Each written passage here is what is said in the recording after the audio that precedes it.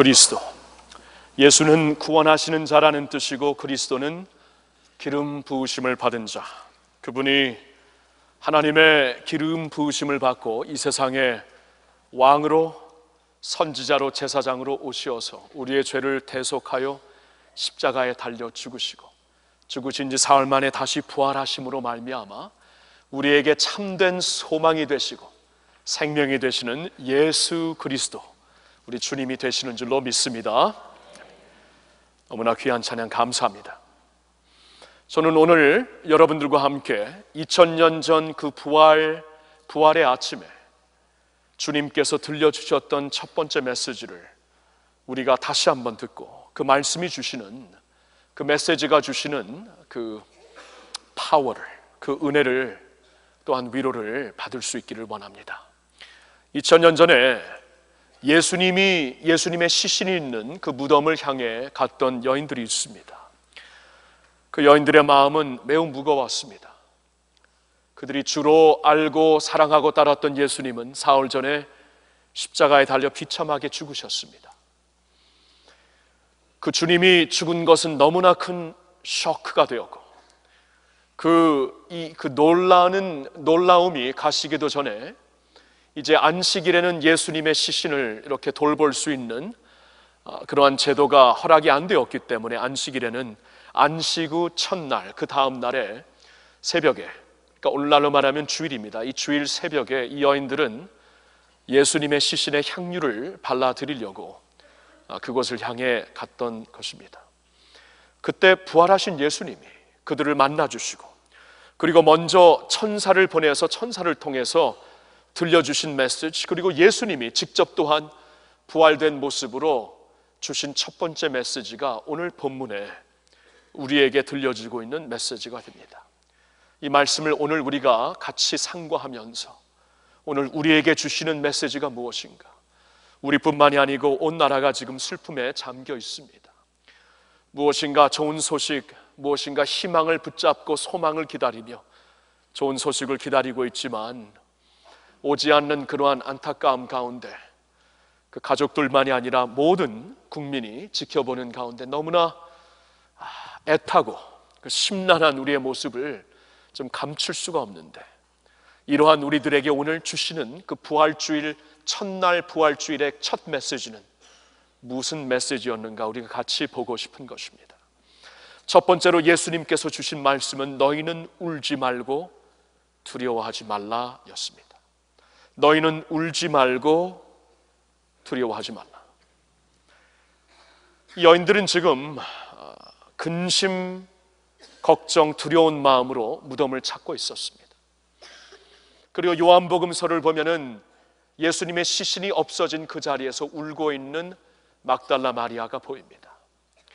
그들에게 오셔서 주시는 말씀은 울지 말라, 두려워하지 말라, 무서워하지 말라였습니다. 오늘 본문에서도 5절에 보면은 천사가 먼 제일 먼저 이제 주님이 천사를 통해 주시는 말씀인데 무서워 말라.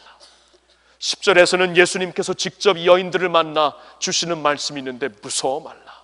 두려워 말라였습니다. 여러분 이 여인들은 왜 무서워했습니까? 왜 두려워했습니까? 절망스러웠기 때문에. 예수님이 죽으셨기 때문에. 그 주님의 시신이 지금 온데간데 없었기 때문에 근심이 있었던 것이고 두려웠던 것이었습니다. 모든 것이 절망스러운 것이었습니다. 그들은 그래서 두려워했던 것입니다. 그러한 자들을 향해 예수님이 주시는 말씀은 두려워할 필요 없다. 오늘 우리에게 주시는 말씀도 무서워할 필요 없다. 우리가 울 필요 없다. 그 자리에서 일어날 수 있다 말씀하시는 것입니다. 여러분 이 말씀을 우리가 음, 우리가 좀 제대로 전체적인 그림을 그리면서 보기 위해서는 오늘 마태복음 28장에서 이 사건을 보고 있는데 마가복음 16장, 누가복음 24장, 그리고 요한복음 20장에도 예수님의 이 부활 사건, 첫 부활 사건이 이 네 복음서에서 전해지고 있습니다. 디테일이 조금씩 달라요. 그래서 이 네 복음서에서 우리에게 알려주고 있는 이 보고를, 이 기사를 전체를 종합하여 보았을 때 우리에게 보여지는 그날 아침의 시나리오는 시나리오는 다음과 같습니다.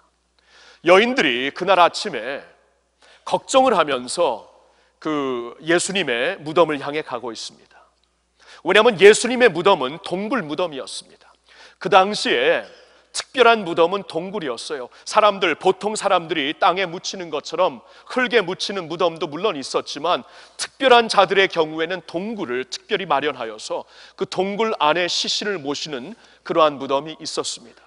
예수님의 경우 예수님을 따랐던 어, 아리마대인 요셉이 있었습니다. 아리마대인 요셉은 그 당시에 그 의원이었습니다. 꽤 높은 자리에 있었던 자였습니다. 그는 예수님을 은밀히 따랐던 자였습니다. 처음에는 자신이 그 들로가 날까봐 그 은밀하게 아무도 모르게 예수님을 따랐지만 나중에는 예수님 앞에 정말 그 담대하게 나오는 아리마대인 요셉. 그가 예수님이 죽으시는 것을 보고 예수님께 마지막 드릴 수 있는 자신의 자신의 정성은 자신을 위하여서 마련했던 이 동굴에 이 동굴 무덤에 예수님의 시신을 모시겠다. 이제 그러한 뜻을 가지고 그 의원이었기 때문에 이것을 이제 그 위정자들에게 간청을 합니다. 허락을 받고 예수님의 시신이 이 동굴 무덤에 이제 그 모심을 받았던 것입니다. 이 동굴 무덤을 향해 이 여인들이 가고 있으면서 큰 근심 걱정거리가 있습니다. 그 동굴 앞에 그 입구를 막고 있는 큰 바위를 누가 옮길 것인가? 보통 그렇게 큰 바위로 입구를 막질 않았지만 예수님의 경우에는 그가 한때 많은 사람들이 그를 이스라엘의 메시아로 보면서 따랐기 때문에 로마 위정자들이 그 예수님에 대하여서 특별히 그 예민하게 반응을 했던 것입니다. 이제 그 예수라는 자가 죽었지만 그의 시체를 제자들이 와서 훔쳐갈 수 있고 또 요동을 일으킬 수 있기 때문에 그 앞에 그 입구에다 큰 돌로 맞고 로마 군인들이 지키게 했던 것입니다. 근데 무슨 일이 일어납니까? 그때 하나님께서 천사를 보냅니다. 천군 천사를 보내서 그 천사가 그 입구를 막고 있는 큰 돌을 이제 옮기기 시작합니다. 그 돌을 옮겼을 때 오늘 마태복음 기사에 보면은 지진이 난 것처럼 사람들에게는 느껴졌다. 그렇죠? 천사가 와서 이 큰 그 바위를 옮길 만한 그러한 그 모습을 보였을 때 지진처럼 그 지역에서는 느껴졌다는 것입니다. 이 모든 것을 목격했던 로마 군인들은 겁에 질리게 되었고 그래서 오늘 말씀해 보니까 거의 죽을 죽을 자처럼 완전히 겁에 질리게 되었고 그 자리에서 도망친 것이 분명합니다. 마가복음의 기록을 보면은 여인들은 이 돌을 누가 움직일 것인가 근심하면서 왔는데 와서 직접 보니까 돌이 입구에서 옮겨진 것을 보게 됩니다. 누가 옮겼는지는 모릅니다. 로마 군인들은 없고 돌은 옮겨진 상태입니다. 그래서 여인들이 그 동굴 안에 들어가 봅니다. 근데 예수님의 시신이 없어요. 예수님의 시신이 없고 그 안에는 천사들인데 천사들이 청년들과 같은 모습으로 왔기, 와 있었기 때문에 청년들이 온 것으로 생각하고 그러나 여인들은 예수님의 시신이 없는 것 때문에 마음이 근심하고 요한복음서를 보면 다시 말씀드리는데 이 예수님의 시신이 찾을 수가 없는 어, 그 주님의 그 시신인 것을 보고 여인들은 울었던 것입니다. 막달라 마리아는 울었던 것입니다. 그러한 가운데 천사가 메시지를 줍니다. 두려워하지 말라. 지금은 두려워할 때가 아니다. 너의 마음의 근심 걱정을 갖고 이 자리에 왔지만 그 근심 걱정을 떨쳐버릴 수 있는 확실한 이유가 있다. 메시지를 전달하는 거예요. 예수님도 오늘 본문 말씀 10절을 보니까 무서워하지 말라 하고 예수님이 직접 나타나셔서 여인들에게 말씀을 건네주십니다. 다시 말씀드리는데 우리는 왜 절망하는 것입니까? 우리는 왜 두려워하는 것입니까? 우리는 왜 우는 것입니까? 우리 앞에 보이는 실상 때문입니다. 우리 앞에 보이는 실상 여인들의 경우에는 죽음이었습니다. 우리가 믿고 따랐던 예수님은 죽으셨어요. 그리고 죽으신 것뿐만이 아니고 그분의 시신이 없어졌어요. 절망스럽습니다. 주님의 시신이라도 보면서 향유를 발라 드리려고 했는데 예수님은 온데간데 없는 것입니다. 이제는 그, 그 실망과 두려움과 함께 절망 속에 빠지고 말았던 여인들을 볼 수가 있습니다. 그래서 그들은 울었던 것이, 그들은 근심했던 것이, 두려워했던 것이, 이것이 실상이었습니다. 그런데 사람들이 볼 수 있는 실상 위에 있는 또 다른 실상이 있습니다. 우리들이 믿음의 눈을 떠서 볼 수 있는 주님을 바라보면서만 목격할 수 있는 더 큰 실상, 더 큰 증거가 있습니다. 우리 육안 앞에 보이는 것은 죽음뿐이었고, 육신의 눈앞에 보이는 목격하는 것은 두려움과 절망과 사망뿐이었지만, 그 위에 있는 또 다른 실상, 그 위에 더 찬란하게 보이는 또 다른 증거가 있는데, 그것은 예수님께서 부활하신 사건이라는 것입니다. 성경은 그래서 히브리서 11장 1절에 이러한 그 모습을 가리켜 우리에게 믿음은 이런 것이라고 말씀을 하십니다. 믿음은 바라는 것들의 실상이요 보지 못하는 것들의 증거니 다시 다 같이 읽습니다. 믿음은 바라는 것들의 실상이요 보지 못하는 것들의 증거니 바라는 것들 실상 더 확실한 실상 우리가 목격하는 것은 사망, 절망, 아픔과 두려움이지만 그 위에 있는 또 다른 실상, 믿음으로 볼 수 있다는 거예요. 우리에게 들려오는 것은 아픔과 절망과 두려움의 소식뿐이지만 믿음의 눈을 열어, 믿음의 귀를 열어서 들을 수 있는 또 다른 증거가 있는데 그 증거는 주님이 주시는 생명과 소망이라는 것입니다. 우리에게 두려워하지 마. 더 이상 울지 마. 이제는 일어날 때야. 무서워할 때가 아니야. 말씀하시는 것은 부활이라는 새로운 실상이 사망 권세를 이기신 예수 그리스도의 새로운 증거가 우리 앞에 보이고 있기 때문이라는 것입니다. 여러분, 우리가 믿는 믿음을 고백하고 있는 사도신경에 뭐라고 우리는 믿음의 고백을 하고 있습니까? 우리는 믿습니다. 전능하사 천지를 만드신 하나님을 믿는 것이며 그의 외아들 그의 독생자 예수 그리스도를 믿는 것인데 그는 성령으로 잉태하사 동정녀 마리아에게 나신 분이고 본디오 필라도에게 고난을 받아서 십자가에 못 박혀 죽으신 분이고 죽으신 지 사흘 만에 다시 살아나신 분이고 하나님 우편에 앉으사 저리로서 산자와 죽은 자를 심판하러 오시는 분인 줄로 우리는 믿습니다. 우리는 우리의 믿음에 주는 죽은 자가 아닙니다. 우리는 죽은 자를 믿고 죽은 자를 따르는 게 아닙니다. 우리는 살아계신 그분을 믿고 살아계신 주님을 따르는 줄로 믿습니다. 그러니까 그러니까 우리의 실상 앞에 보이는 목격할 수밖에 없는 사망과 죽음과 어두움 가운데서도 믿음의 눈을 열어 부활하신 주님을 보니 새로운 실상, 새로운 증거를 내가 목격하며 붙잡을 수 있는 것인데 우리 주님은 사망 권세 이기시고 무덤, 무덤을 박차고 일어나시어서 다시 사신 주님이 되신 줄로 믿습니다. 죽으신 예수님 따르는 게 아니에요. 그렇다면 오늘날 교회는 없을 것입니다. 오늘날 우리 우리가 믿는 복음은 없을 것입니다. 예수 그리스도가 죽으시고 다시 부활하시지 않았다면 사도 바울이 고린도 교회에게 말한 것처럼 우리의 전하는 것은 다 헛된 것이요 우리가 믿는 것도 헛된 것이요 우리는 이 세상의 어떤 사람들보다 가장 불쌍한 자라. 예수님의 부활이 없다면, 예수님의 죽음에서 모든 복음이 끝난 것이라면, 그 예수님을 연민의 대상, 그 예수님을 사랑의 대상, 존경의 대상, 추모할 수 있는, 기억할 수 있는 분으로 우리가 알 수 있는지는 모르지만, 우리가 나의 주라고, 나의 왕이라고 따를 수 있는 분은 결단코 되지 아니할 것입니다. 그러나 우리는 죽은 자가 아니라 살아계신 주님을 믿고 있기 때문에 오늘 우리가 절망하는 이 자리에서 왜냐하면 우리에게 절망을 주는 가장 큰 요소는 사망이에요. 절망 우리에게 가장 큰 두려움과 아픔과 슬픔과 눈물을 주는 것은 사망이에요. 그것은 압도적이고 절대적이기 때문에 그런데 압도적인 인간의 마지막 원수가 되는 사망, 인간의 인류의 마지막 절대적인 적이 되는 이 죽음을 예수님께서 이기시고 부활 승천하셨기 때문에 우리는 그 절망과 두려운 자리에서 남아 있을 필요가 없고 부활하신 예수님으로 말미암아 확실한 생명과 확실한 소망을 누릴 수 있다고 믿습니다.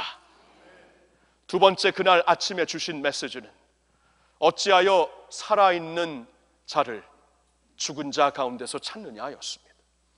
어찌하여 살아있는 자를 죽은 자 가운데서 찾느냐.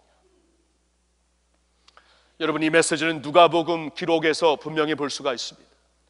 누가복음에서 그 천사를 통해 여인들에게 주신 말씀 여인들이 깜짝 놀래고 시실이 어디 있느냐 근심 걱정하고 있으니까 천사가 말을 합니다. 왜 너희들은 어찌하여 살아있는 그분을 살아있는 자를 죽어 있는 자 가운데서 죽은 자 가운데서 찾고 있느냐? 여러분 살아계신 주님을 확실히 알라는 것입니다. 분명히 예수님은 제자들과 함께 계시면서 본인이 십자가에 달려 죽으시고 사흘 만에 다시 사실 것을 말씀하셨습니다. 근데 제자들은 그것을 기억하고 있지 못했어요.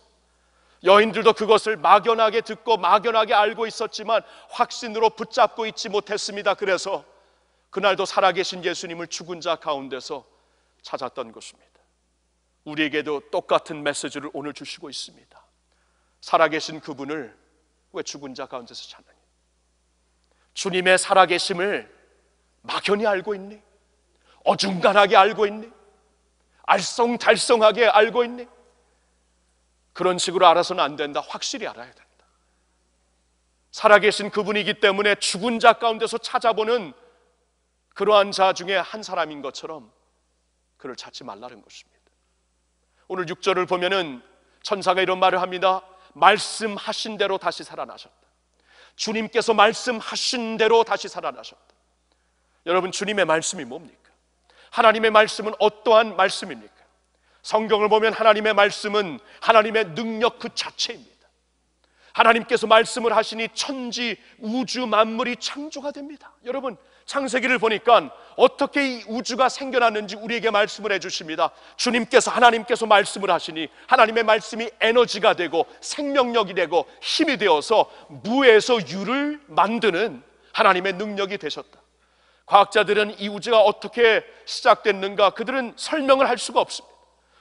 우주의 많은 것을 설명해도 어떻게 시작되는가는 설명을 할 수가 없어요. 그냥 다만 빅뱅으로 어느 한순간 그냥 뻥 터져 갖고 우주가 존재하게 된 것이다.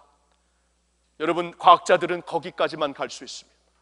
그러나 하나님은 성경을 통해 말씀하십니다. 하나님께서 말씀하시니 그 빅뱅이라는 것은 하나님께서 말씀하시는 그 순간 그 말씀이 에너지가 되고 능력이 되고 생명력이 되어서 그 말씀의 능력이 무에서 유를 창조하는 천지를 창조하는 하나님의 능력이 되었다고 성경은 말씀해 주시고 있습니다. 믿으세요? 말씀하시니 무에서 유가 났더라. 여러분 이게 말씀이에요. 그러니까 하나님께서 말씀하신 대로 다시 사셨다. 이게 뭡니까? 죽음은 끝이에요. 사망은 끝나는 것입니다. 그런데 무에서 유를 창조하신 하나님의 말씀대로 다시 살아나셨다는 것은 죽음이면 끝이고 모든 것이 절망으로 끝나는 그 순간인데 주님의 말씀의 능력대로 예수는 죽은 자 가운데서 남아있지 않고 다시 사셨다는 것입니다. 말씀이 그런 것이에요.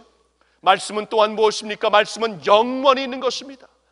그래서 예수님께서 산상수훈을 통해 말씀을 하십니다. 하늘과 땅 천지는 없어지려니와 하나님의 말씀은 1.1획이라도 없어지지 아니하리라.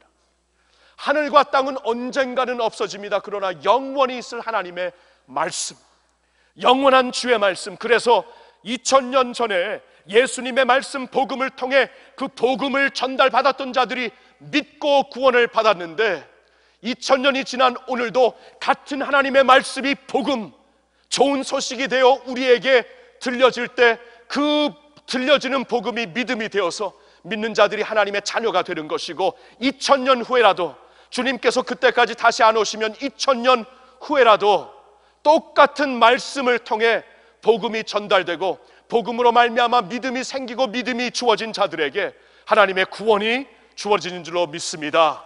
하나님의 말씀은 그런 것이 영원한 것입니다. 하나님의 영원한 진리, 영원한 진리대로 말씀하신 대로 그 진리, 다른 것은 다 없어져도 이 진리만큼은 영원한 것인데 그 영원한 진리대로 예수님께서 그 말씀대로 죽은 자 가운데 남아 계시지 않고 다시 살아나셨다 말씀을 하시는 것이에요. 말씀은 또한 무엇입니까? 말씀은 마귀, 사탄을 이길 수 있는, 완전히 지배할 수 있는 권세가 됩니다. 그래서 예수님께서 말씀하시니 마귀가 무력화됩니다. 예수님께서 말씀하시니 악령들이 떠나갑니다. 소리를 지르면서. 예수님께서 말씀하시니 시험하러 왔던 마귀가 아무런 힘을 내지 못하고 다시 돌아가게 됩니다. 그뿐만이 아니죠. 예수님께서 말씀을 당신의 이름과 말씀을 제자들에게 주셨을 때 예수님께서 제자 제자들이 예수님의 이름으로 말씀하시니 예수님의 이름으로 선포하였을 때 악령들이 악한 그 귀신들이 완전히 순복하고 소리를 지르며 그 앞에서 무릎을 꿇고 떠나가는 것을 우리가 볼 수 있게 됩니다. 주님의 말씀은 이 악한 모든 영들을 지배하는 권세가 되는 것이에요. 그 말씀, 이 권세가 있는 말씀, 영원한 진리가 되는 말씀, 하나님의 능력 자체가 되는 그 말씀대로, 말씀대로, 그러니까 분명히 일어날 그 하나님의 말씀대로 예수는 이 자리에 있지 아니하시고 다시 살아나신 줄로 믿습니다. 여러분, 우리가 그래서 부활의 사건, 예수님의 부활의 사건은 하나님의 말씀에 비롯된 사건이기 때문에 하나님께서 약속하신 사건이기 때문에 구약 시대부터 하나님께서 계속 징조로 보여주시고 예수님을 통하여서 계속 들려주신 말씀이었기 때문에 사도 바울이 고린도 교회에게 말한 것처럼 예수는 성경 말씀대로 이 세상에 오시어서 예수는 성경 말씀대로 우리를 위해 십자가에 달려 죽은 것이고 예수는 성경 말씀대로 다시 살아나신 분이며 예수는 성경 말씀대로 다시 오실 주가 되는 줄로 믿으시기를 바랍니다. 하나님의 말씀, 말씀에 비롯된 확실한 진리. 이게 부활이라는 것이. 여러분, 그 천안문 그 광장에 가보면 중국 베이징에 그 천안문 앞에 한 빌딩이 있습니다. 마오쩌동의 그 시신을 그 그 누워 있는 그러한 그 영묘가 있는 그 시체가 있는 영묘가 그 옆에 한 빌딩에 있습니다. 근데 그 빌딩에는 하루 종일 사람들이 줄을 서서 기다립니다. 너무나 놀래갖고 이 줄이 매일을 나갈 때 365일 저렇게 매일 사람들이 줄을 서서 기다린대요. 죽은 자를 보기 위해, 죽은 자 마우제동을 보기 위해 하루도 쉬지 않고 줄은 끊어지지 않는 그러한 광경을 보면서, 야, 죽은 자를 보기 위해서도 저렇게 줄을 서는구나. 북한에는 김일성의 영묘가 있다고 합니다. 사람들은 그곳에 들어가기 위해 줄을 선다고 합니다. 여러분 그러한 그 영묘에 들어가면은 얼마나 그 분위기가 이 엄숙함을 지나가지고 우울하고 무겁겠어요. 죽은 자이기 때문입니다. 정부는 그러한 죽은 자를 그렇게 디스플레이하기 위해서 엄청난 재정을 매일 쏟아붓고 있습니다. 죽은 자를 보여주기 위하여서.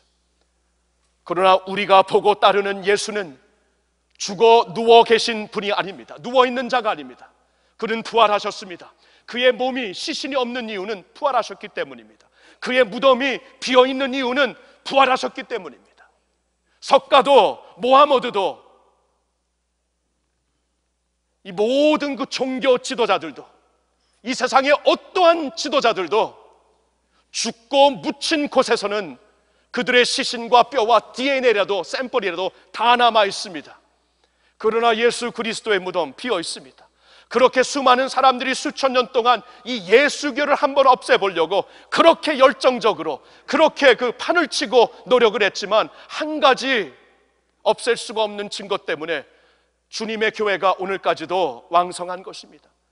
주님의 시신을 찾지 못했기 때문에 그의 뼈를 찾지 못했기 때문에 그의 DNA 샘플, 샘플이라도 찾지 못했기 때문에 왜 찾지 못했습니까? 그는 죽어 있는 분이 아니라 말씀대로 하나님의 진리대로 약속대로 다시 살아나신 분이기 때문임을 믿으시기를 바랍니다.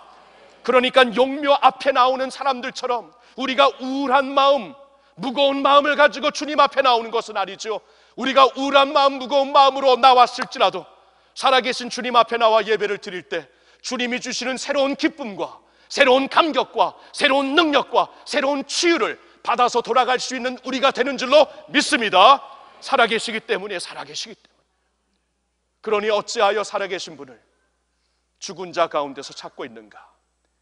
이것은 오늘 우리에게 주시는 명확한 메시지입니다. 살아계신 주님을 확실히 믿고 알라는 것입니다. 세 번째 그날 들려진 말씀은 가서 형제에게 알리라는 것입니다.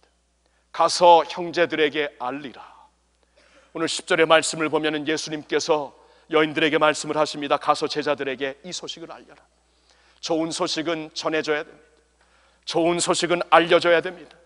주님께서 사망 권세 이기시고 다시 사셨다는 것을 제자들에게 가서 알려라. 좋은 소식이니 알려야 된다. 그들이 알아야 된다 하고 주님께서 그 아침에 말씀을 해 주셨습니다. 여러분, 마지막 원수가 되는 죽음을 이기시고 부활하신 주님. 그 주님은 모든 믿는 자들에게 첫 부활의 열매가 되신 주님이기 때문에 주 안에 있는 자들은 우리도 그와 함께 영원히 살 수 있다는 이 엄청난 메시지, 이 놀라운 소식을 우리는 반드시 전해야 되는 것입니다. 이번에 세월호 이 침몰 사건을 바라보면서 우리 모두 다 한 가지 분명히 깨달았을 것입니다. 그것은 생명의 중요성. 한 생명의 중요성이 아닙니까?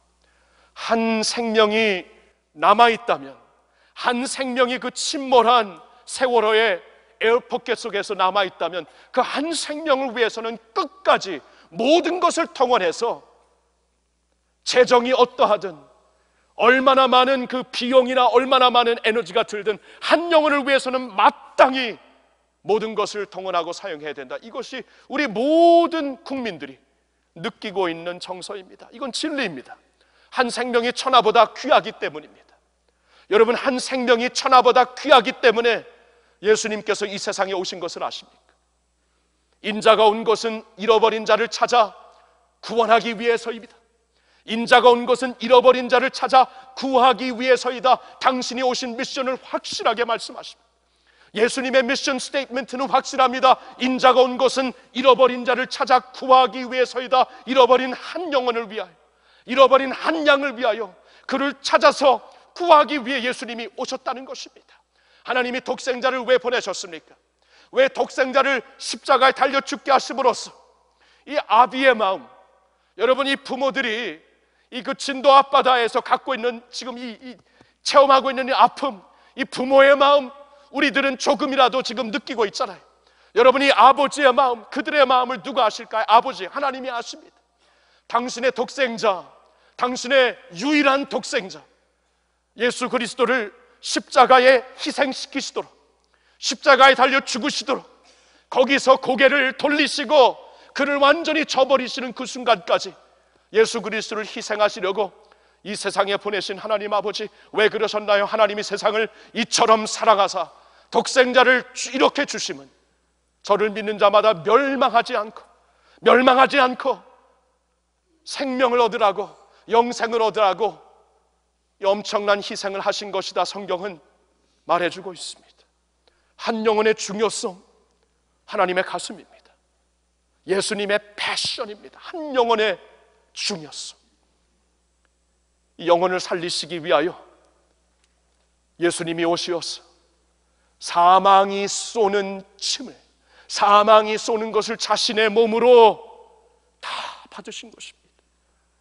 고린도전서 15장 55절에 예수님이 하신 일에 대해 이렇게 말하고 있습니다. 같이 읽습니다.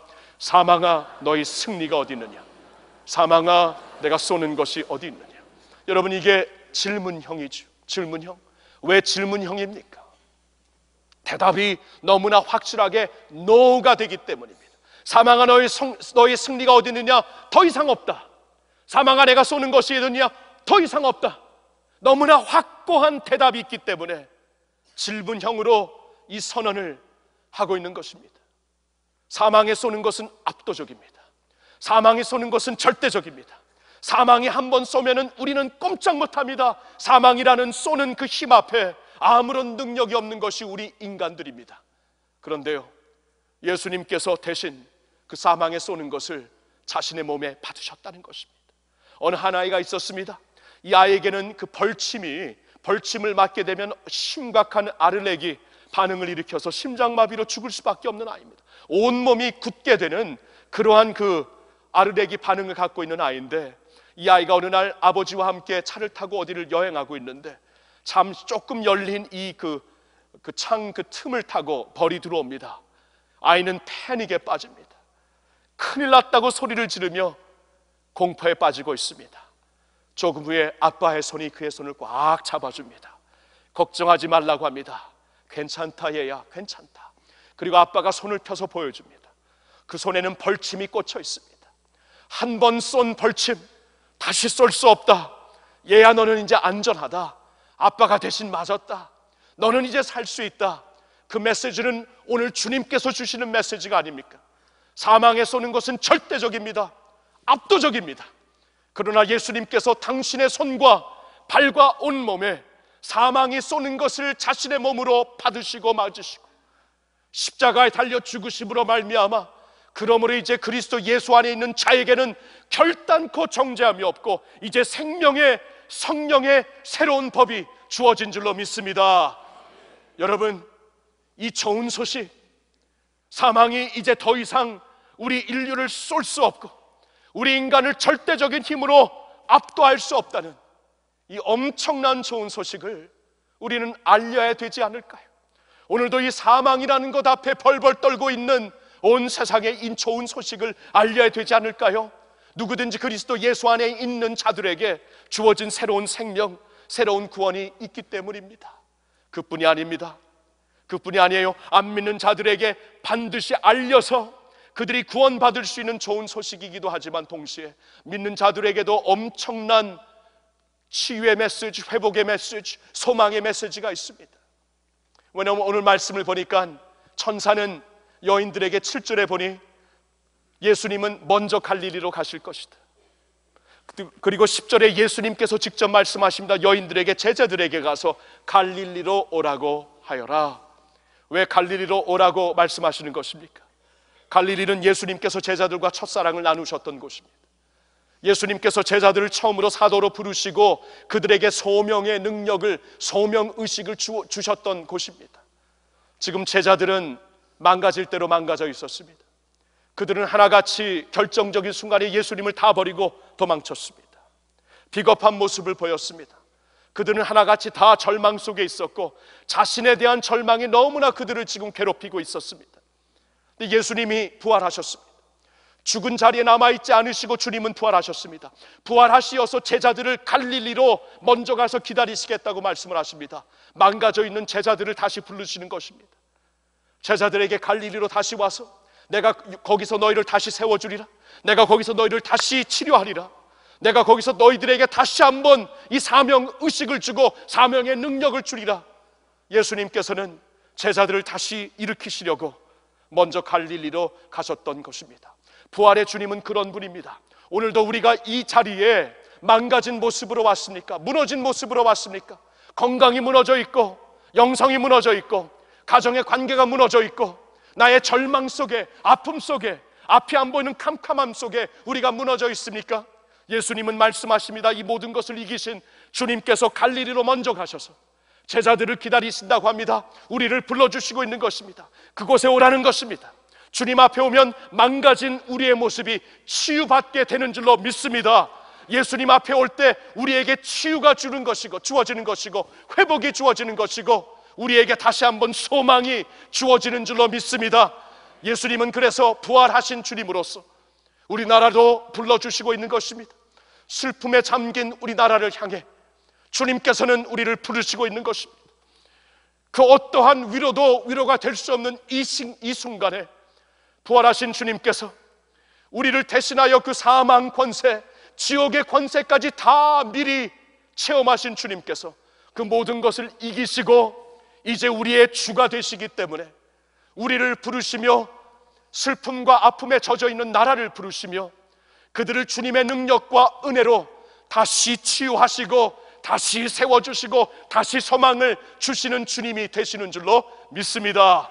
우리 주님은 부활하셨습니다. 죽은 자 가운데 남아 계시지 않았습니다. 그러니 울지 마십시오. 그러니 두려워하지 마십시오. 우리 주님은 사망 권세 이기셨습니다. 말씀대로 사망 권세 이기신 분입니다. 죽은 자 가운데서 그를 찾지 말고 살아계신 주님으로 그분을 확실히 영접할 수 있기를 바랍니다. 우리 주님은 가서 알리라고 하십니다. 이 좋은 소식, 귀한 소식, 예수가 다시 사신 이 소식, 그리고 예수 안에서 우리가 회복될 수 있고 망가진 우리의 모습이 지금 우리의 모습도 다시 일으킴을 받고 다시 치유를 받고 다시 세움을 받을 수 있다는 이 엄청난 좋은 소식 우리가 먼저 만끽하고 온 세상에 알리어서 부활하신 예수 그리스도 안에서 여러분 진정한 회복, 진정한 치유, 진정한 소망 그리고 구원을 받으시기를 예수님의 이름으로 축원합니다.